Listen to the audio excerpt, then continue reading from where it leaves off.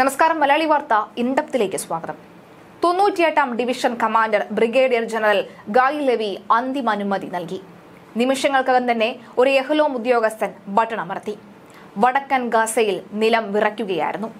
Rector സ്കെയിലിൽ നാല് ദശാംശം അഞ്ച് തീവ്രത രേഖപ്പെടുത്തിയ ഭൂചലനം. ഭൂകമ്പം. അതുണ്ടായത് വെറുതെയല്ല. ഹിസ്ബുള്ളയുടെയും ഹമാസിന്റെയും നൂതന സാങ്കേതിക വിദ്യയിൽ നിർമ്മിച്ച ആഡംബര തുരങ്കങ്ങളെ നാനൂറ് ടൺ സ്ഫോടക വസ്തുക്കൾ ഉപയോഗിച്ച പൊട്ടിത്തെറിപ്പിച്ച നശിപ്പിച്ച കരിച്ചു കളഞ്ഞതിന്റെ പ്രകമ്പനമായിരുന്നു ഇസ്രയേലിൽ അനുഭവപ്പെട്ടത്. ലബനനിലായിരുന്നു ആ ടണലിന്റെ ശൃംഖല. കഴിഞ്ഞ ദിവസം ലബനിലേക്ക് എത്തിയ ഐ ഡി എഫ് സംഘം സത്യത്തിൽ ഒരു ഒളിച്ചുകളിക്കാണ് സാക്ഷ്യം വഹിച്ചത്. ഐ ഡി എഫ് സംഘം ആ ഗ്രാമത്തിലേക്ക് എത്തിയപ്പോൾ തന്നെ അതായത് ഒരു വളരെ പ്രധാനപ്പെട്ട വളരെ മനോഹരമായ ഒരു ഗ്രാമത്തിലേക്കാണ് അവർ എത്തിയത്. അവിടെ ഹിസ്ബുള്ളയുടെ സാന്നിധ്യം ഉണ്ടെന്ന് മനസ്സിലാക്കിയാണ് കഴിഞ്ഞ ദിവസം ഐ ഡി എഫ് സംഘം അവിടേക്ക് എത്തിയത്.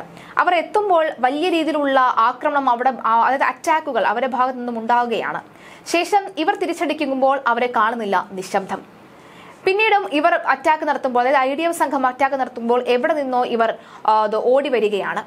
അങ്ങനെ എവിടെ നിന്നാണ് ഈ ഹിസ്ബുള്ള കമാൻഡർമാർ ഒളിച്ചിരിക്കുന്നത്? എവിടെ നിന്നാണ് ഇവർ വരുന്നത് എന്ന് കണ്ടുപിടിക്കാൻ ഓരോ വീടുകളും കയറിയിറങ്ങി ഐ ഡി എഫ് സംഘം പരിശോധിച്ചു. പക്ഷേ ആരെയും കണ്ടില്ല. അവിടെ നിന്ന് ജനങ്ങളോട് ഒഴിഞ്ഞു പോകാൻ എത്രയും വേഗം ഒഴിഞ്ഞു പോകാൻ ആവശ്യപ്പെട്ടു. ലബനൻ അക്ഷരാർത്ഥത്തിൽ വിറപ്പിക്കുന്ന റെയ്ഡും ഐ ഡി എഫ് നടത്തി. പക്ഷേ ഒരു തരുമ്പ് പോലും അവർക്ക് എവിടെ നിന്നാണ് ഈ ഹിസ്ബുള്ള ആക്രമിക്കുന്നത് എന്ന് മനസ്സിലായില്ല.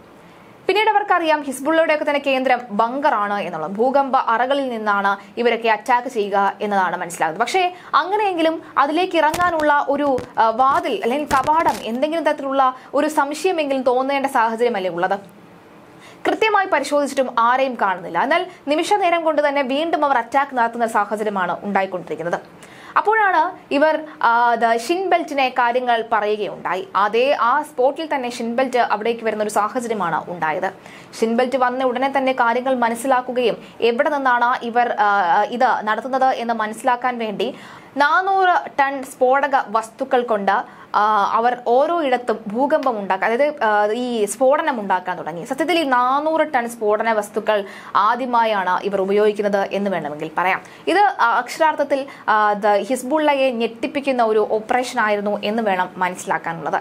ഹിസ്ബുള്ളയെ ഞെട്ടിച്ച ഈ ഒരു ഓപ്പറേഷനിൽ സത്യത്തിൽ ഇസ്രയേലും അതുപോലെ തന്നെ ലബനോനും വിറച്ചുപോയി എന്ന് വേണം പറയാം കാരണം ഇസ്രയേലിന്റെ ഈ ഒരു അറ്റാക്കിന് പിന്നാലെ തന്നെ യഹലോം ടീമിന്റെയും വലിയൊരു ശക്തി ഇതിലുണ്ട് എന്ന് മനസ്സിലാകുന്നു.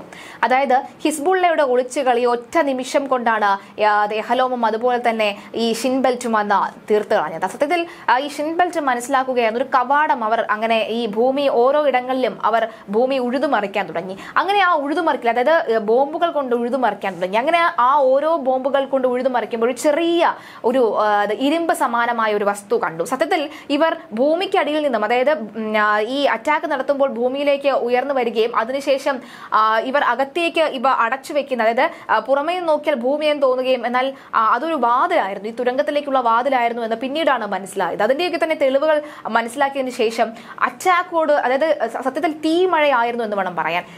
അടുക്കള ഉൾപ്പെടെ ബാത്റൂം സംവിധാനങ്ങൾ ഉൾപ്പെടെ മിസൈൽ ആക്രമിക്കാനുള്ള എല്ലാ നൂതന സാങ്കേതിക വിദ്യകൾ ഉൾപ്പെടെ ആയിരത്തോളം ഹിസ്ബുള്ള അംഗങ്ങളാണ് അതിനകത്തുണ്ടായിരുന്നത്. ആയിരത്തോളം ഹിസ്ബുള്ള ഭീകരന്മാരാണ് ആ തുരങ്കത്തിനകത്ത് ഉണ്ടായിരുന്നത്. നാല് ദശാംശം അഞ്ച് തീവ്രത രേഖപ്പെടുത്തിയ ആ ഭൂകമ്പത്തിന് പിന്നിൽ സത്യത്തിൽ ആയിരം ഈ ഹിസ്ബുള്ള ഭീകരന്മാരെയും കൊന്നു തള്ളി എന്ന് ജെറുസലേം പോസ്റ്റ് വ്യക്തമാക്കുകയാണ്. ഏത് ഏതാണ്ട് ഈ ഔട്ട് ബ്രെയിൻ അതിർത്തിയിൽ നിന്ന് എണ്ണൂറ് മീറ്റർ അകലെ നിർമ്മിച്ച ഹിസ്ബുള്ളയുടെ സങ്കീർണമായ ടണൽ സംവിധാനമാണ് ഇന്റലിജൻസ് ഉദ്യോഗസ്ഥർ തകർത്ത് എറിഞ്ഞിരിക്കുന്നത്. പോരാട്ടത്തിന്റെ ഏറ്റവും ഉയർന്ന സമയത്ത് ഏകദേശം ആയിരം ഹിസ്ബുള്ള ഭീകരർ അവരിൽ ഭൂരിഭാഗവും റദ്വാൻ സേനയിൽ നിന്നുള്ളവരാണ്. ഇസ്രയേലിലേക്ക് റെയ്ഡിനായുള്ള ഉത്തരവിനായി കാത്തിരുന്നവരായിരുന്നു ഈ ആയിരം പേരുമെന്നാണ് വ്യക്തമാകുന്നത്. ലെവിയും paratroops brigades commander colonel Ami മിഠണം തമ്മിലുള്ള പ്രാഥമിക ചർച്ചയിൽ ദൌത്യത്തിന്റെ വെല്ലുവിളികൾ പല ഘട്ടങ്ങളിലായിരുന്നുവെന്ന് വ്യക്തമാക്കുകയാണ്. ടാങ്കർ വിരുദ്ധ സ്നൈപ്പർ സ്ക്വാഡുകൾ സ്ഫോടക വസ്തുക്കൾ റോക്കറ്റുകൾ മോട്ടാർ എന്നിവർക്കിടയിൽ ഗ്രാമത്തിന്റെ ഹൃദയഭാഗത്തുള്ള ഒരു കുതന്ത്രമായിരുന്നു ഇത് എന്ന് വേണമെങ്കിൽ പറയാം. അവർക്ക് നേരെ ഷെല്ലുകൾ എറിയും ഗ്രാമകേന്ദ്രത്തിലേക്ക് കേന്ദ്രത്തിലേക്ക് മുന്നേറുമ്പോൾ തീവ്രവാദികളെ കൊല്ലുക തുരങ്ക സംവിധാനവും അതിന്റെ ശാഖകളും കണ്ടെത്തുക. അത്യന്തമായി അത് പൂർണമായി നശിപ്പിക്കുക എന്നതായിരുന്നു ഇവരുടെ പ്രധാനപ്പെട്ട ലക്ഷ്യം.